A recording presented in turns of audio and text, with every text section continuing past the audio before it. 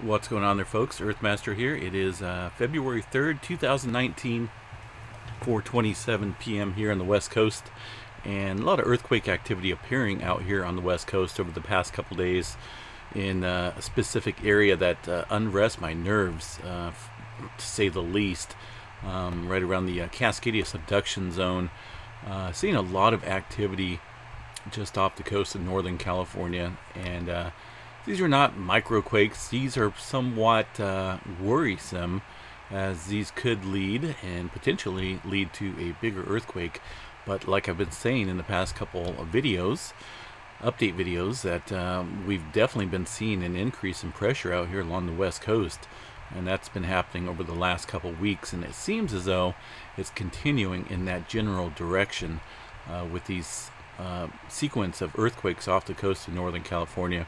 I'm going to get rid of the Earthquake 3D globe and bring you guys over here to the latest USGS map of uh, all magnitudes over the last seven days. Okay, now when you think about swarm, you think of hundreds and hundreds of earthquakes, right? You know, kind of like Yellowstone or Mammoth Lakes or any other area that might have a swarming type uh, feature going on. Uh, this activity, I don't think I wouldn't call it a swarm, but um, let me go over here and go to interact here. Yeah, so once again, last seven days, all magnitudes um, in Northern California. This is Eureka area, Arcata. Um, the northern section of the San Andreas fault system is out here uh, where it uh, turns into the Mendocino fault system. Let me see if I can show you guys on this uh, map here, if it's going to let me. I've seen it pop up there. But anyway, um, yeah, so there's the Mendocino fault system right off the northern part of the San Andreas fault system right here. It goes down there. Kind of hoping this thing would work like it was prior to this video. But anyway, this red line going south of these earthquakes, northern part of the San Andreas fault system where it extends up to the north and northwest uh, as a Mendocino fault. And just up here, north of the Mendocino fault system where, where these earthquakes are occurring is the Cascadia subduction zone megathrust area and that's an area that we need to watch and pay attention to. Um, whenever I see this type of activity occurring within a very um, already locked area that could produce a you know megathrust uh, earthquake that's 9.0 or so or higher um, I tend to pay attention um, within this area 17 earthquakes, okay, not a lot, but it's the magnitude of earthquakes that's taken place that has me a little bit worried. Now, if this was just a 4.5, you know, we see a 4.5 and then followed up by a couple smaller quakes, that's a good obvious sign that, um, you know, we had a main shaker and this here, uh, these other earthquakes that are smaller than 4.5 are just readjustment um, aftershocks, right, in normal activity, in a normal earthquake uh, scenario. But these are just not uh, any quakes. These are um, a multitude of many different moderate quakes. Um, there's been no main quake. I think the most, the highest one was a 4.5, I believe, right there. Yeah, 4.5 um, in this area. That's a blue circle. But what has me worried is also just there's there's really no main shaker, folks. There's no main 5.0, like I was saying, or 4. Uh, you know, you got we got a 4.5, but there's all the other earthquakes are right around that same magnitude. 4.3 down here, uh, a whole bunch of middle and upper threes. Another four pointer just occurring a little bit ago.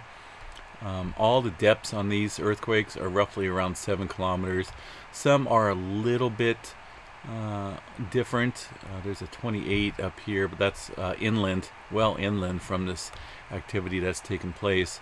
Uh, so roughly around seven, uh, seven kilometers below the surface there. Um, you know, so the only thing I can think of, folks, is that this is definitely something to watch um, today, tomorrow, and um, probably within the next couple days. Something to keep an eye on.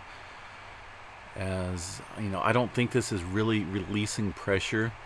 Um, if it is, it's building pressure uh, also down here to the south and that's the San Andreas fault system right here right so you got the San Andreas fault zone the north coast section but that also extends north of there into the Mendocino fault system right up there.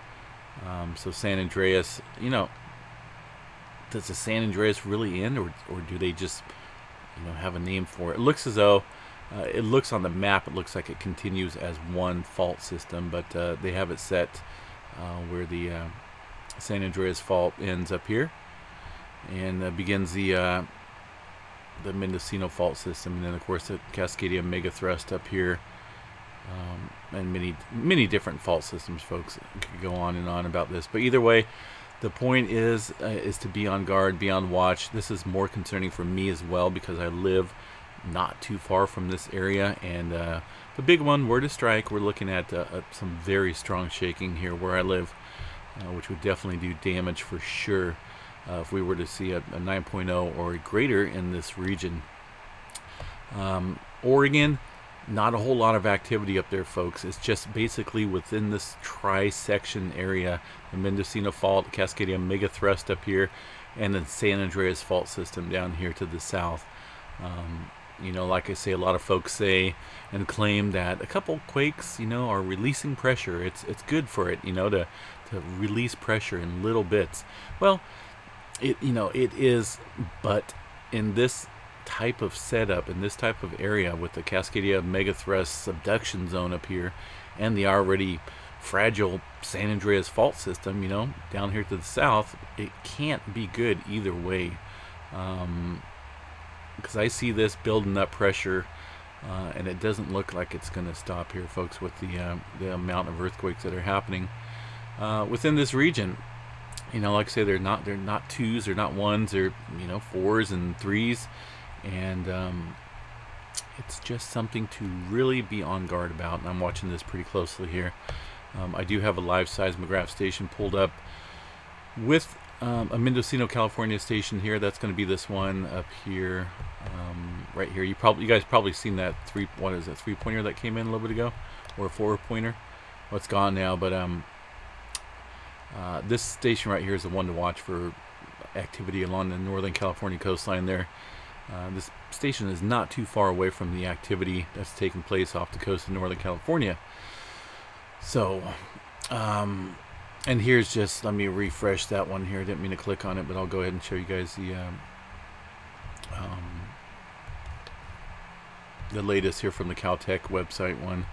Go ahead and refresh that real quick. And you guys can see just a couple red squares up there um, showing where the activity is. It, it kind of looks as though you know, just looking on this map here, looks as though it's kind of working its way inland towards, um, towards off the Mendocino Fault System into the uh, northern part of this, the uh, um, San Andreas Fault System right there.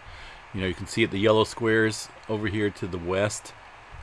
Make sure you guys can see what I'm seeing. Um, yes, okay. So yeah, the yellow squares indicating older earthquake activity. Well, like, you know, I guess this would counteract what I'm trying to say here, but you know the yellow to the west the blue and red more towards the east closer inland closer to the um, to the coast over here.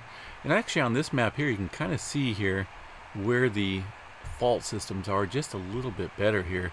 But on this map here they have the northern part of the San Andreas fault system ending out here south of Fort Bragg but that's not necessarily true. Um, there's actually been some studies that it does come up into um, this part of the area up here where the earthquake activity is occurring. So, not for sure why the Caltech uh, USG website is different than the uh, than the USGS one, but it is what it is. Um, either way, I think I think there's uh, um, some worry here with the activity that's occurring, and uh, definitely going to be on watch, earthquake watch here over the next day or two um, for a larger earthquake out here um, in the northern California region here. I just see this building pressure more more so than releasing. Excuse me. Um, so getting back to the USGS map over here, like I was showing you guys the fault systems here. Um, let me open. I got a couple different maps here. Open on my side, so I'm trying to find the right one to show you guys. Okay, so yeah, you know, so you guys can pretty much see here um, that line, San Andreas Fault Zone North Coast section. And then from there, you know, it's still marked as, as the San Andreas fault system. Um, once you guys, once you go up here a little bit, sometimes I can't get it to work, but it extends up here and it looks as though like it connects to the region uh, of the Mendocino Fault System and the Cascadia Megathrust area up here. Um, so anyway, folks, it's just a, not a not a good area to have these type of earthquakes um, in a swarming type fashion here, um, with no main shaker. You know, main, you know, no main quake. So a lot of times we do see buildups like this of smaller, not smaller, but moderate quakes uh, before a really big one happens. So that's why I'm kind of on guard and uh, having this earthquake watch here for um, Northern California region and uh, of course the San Andreas fault system that extends down here. Uh, that's pretty quiet down here in this region of the world, this region of the fault system, I should say. Uh, but still, definitely, uh, we need to be on guard out here um, over the next couple days here. And like I say, I, I do have the live stream up and running with um, with uh, numerous stations around the globe. I did want to show you guys, excuse me, uh, the uh, slow slip event movement up here. That's the uh, area of the Cascadia subduction zone. Um, not not surface quakes, but uh, quakes in general, or not quakes, slippage in general along the Cascadia subduction zone. Uh, this here is the last three hours. a, quite a bit of movement. Uh, a cluster of quakes right there near Medford. Let's see if I can zoom in here real, I keep saying quakes, but they're not quakes, folks. It's uh, detection, slippage uh, between the, the plates out here. You can kind of see a little bit better there. Uh, let's go the last 12 hours here. Not a whole lot different, but if you notice, folks, um, down here off the coast of Eureka, kind of south of the region where we're seeing this earthquake activity towards the surface, we're seeing a little bit of slippage down there, right? That's that's lower than the earthquake activity. I should say deeper than the earthquake activity we're seeing at the surface. So there's some slippage being detected. Therefore, on the surface, we're seeing pressure uh, increase and getting these quakes happening right off the Mendocino coastline right there.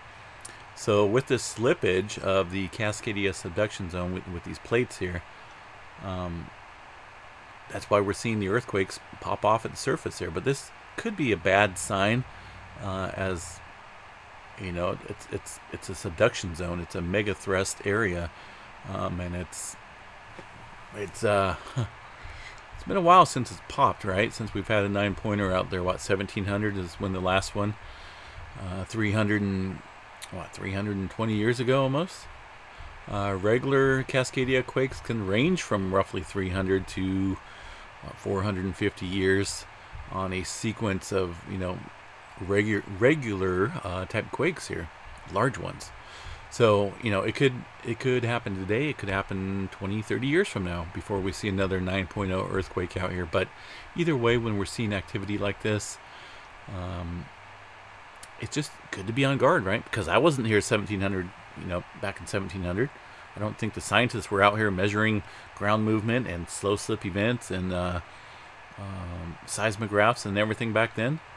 They weren't, so we don't know the exact detail of what went on prior to that 1700 earthquake, but uh, you know it happened. People people had records of it, and uh, you know there's I could go into details about it, but I just don't want to cover that right now. So So anyway, folks, um, let's get back over here real quick to the USGS map. I wanted to check here real quick something. Yeah, I need to get a pointer on here. You guys can't see my pointer on some some things you can, but uh, like on this map, I don't think you guys can see. Probably just see the screen moving around. So yeah, that was a 3.7 that just occurred right off there.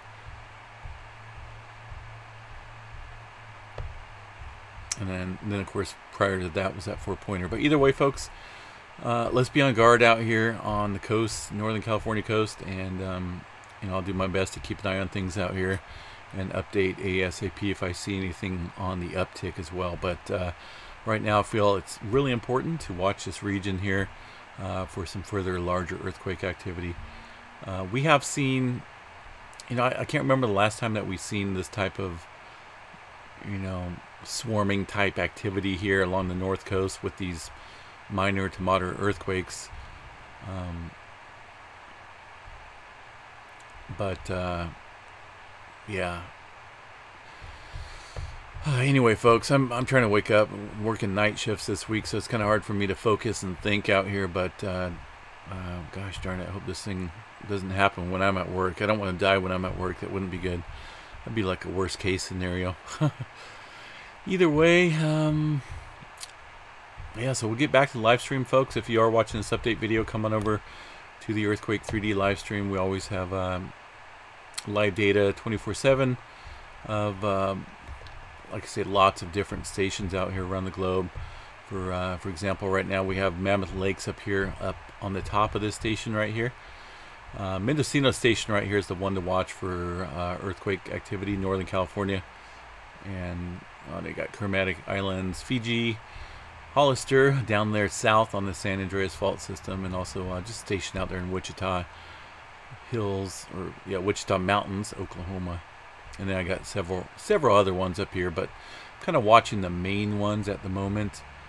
Um, I guess we could just go ahead and keep it like that. Keep a Yellowstone station up there as well. So, um, yeah, I, I, mean, I just I don't know what else to say, folks. Let's just be on guard and uh, keep an eye out. Uh,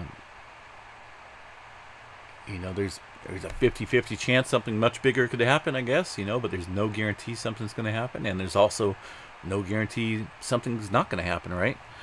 Uh, all I know is like when we see this this type of movement with the slow slip event um, being recorded in that area of Northern California and also along the Cascadia subduction zone and we're getting these surface quakes that mean pressure that means pressure is continuously building in this already area towards the surface here. Already area? That didn't make any sense did it? This already built up region of pressure at the surface is what I was trying to say. Um, so let's just keep an eye on it. I'll keep an eye on the slow slip events see if it increases anymore if I see a major increase in uh, activity in this region, then uh, I'll pop back on here and do an urgent update uh, as I think that might be a, a uh, signal to something much, much bigger uh, that's about ready to happen at the surface. So either way, folks, um, have a good day. I got to get uh, got to get my mind clear and uh, get ready for some more fun. So have a good night out there. Stay safe and always have make sure you have an earthquake plan out there. Make sure you're stocked up on food and water, all that good stuff, some beer anything uh, that you guys uh, you know depend on on a daily basis. So, all right, stay safe, peace.